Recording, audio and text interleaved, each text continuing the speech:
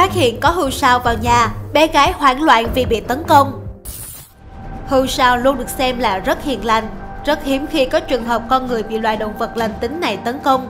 Thế nhưng tai nạn của bé gái dưới đây gặp phải đã khiến nhiều người có cái nhìn khác về sinh vật tưởng chừng như vô hại này.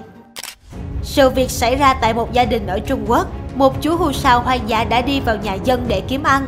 Khi phát hiện ra bao ngũ cốc ngoài sân, con vật đã cố gắng tìm cách mở túi. Một lúc sau, bé gái từ trong nhà bước ra.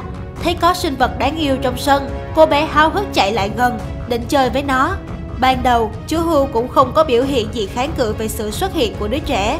Thế nhưng, khi bé gái tiến lại gần hơn, trong một tích tắc, chú Hưu bất ngờ vung chân, hạ một cú trời giáng xuống người của bé.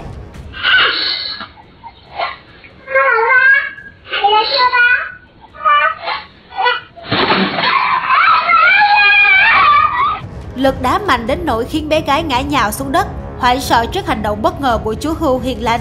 Cô bé òa khóc nức nở, vội vàng chạy vào nhà tìm mẹ. Nghe thấy tiếng con gái khóc thét, người mẹ hốt hoảng chạy ra thì ngay lập tức phát hiện ra nguyên nhân. Sau đó cô đã gọi chồng ra để xử lý vị khách không mời mà đến. Thấy có biến, chú Hưu và đồng bọn đã vội vàng bỏ chạy thoát ra khỏi sân. May mắn là cô bé chỉ bị thương nhẹ, không ảnh hưởng đến sức khỏe. Tuy nhiên, đoạn video đã khiến nhiều người không khỏi rùng mình trước sự hung hãn bất ngờ của chú Hưu sao. Sự việc là một lời cảnh tỉnh cho các bậc phụ huynh cần phải cẩn trọng hơn trong việc giám sát, không nên để trẻ nhỏ đến gần hoặc chơi đùa với động vật hoang dã, cho dù chúng có vẻ ngoài hiền lành vô hại đến đâu, để tránh những trường hợp đáng tiếc có thể xảy ra. Cảm ơn các bạn đã theo dõi video hôm nay của Vtop. Chúc các bạn một ngày thật vui. Hãy nhớ đăng ký kênh để nhận được những thông báo mới nhất từ chúng mình nhé.